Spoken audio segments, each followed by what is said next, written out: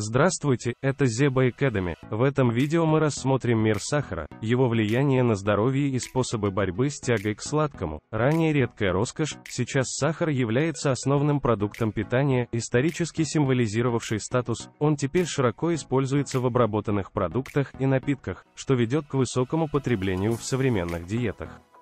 Привлекательность сахара вызывает тягу и чрезмерное потребление, что ведет к увеличению веса и ожирению. Подслащенные напитки способствуют набору веса. Высокое потребление сахара может привести к инсулинорезистентности и диабету 2 типа. Диеты с высоким содержанием сахара повышают риск сердечно-сосудистых заболеваний. Чрезмерное потребление сахара связано с депрессией, тревожностью и снижением когнитивных способностей.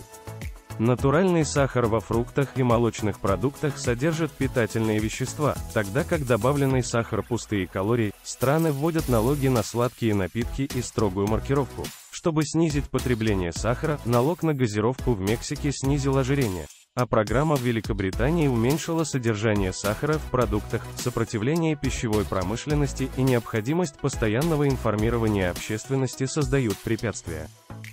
Сбалансированный подход к потреблению сахара требует осознанного выбора и адаптации, изучая альтернативы и личный опыт. Можно наслаждаться сладким и сохранять здоровье. Спасибо за просмотр. Подпишитесь на Зеба Academy для большего количества видео.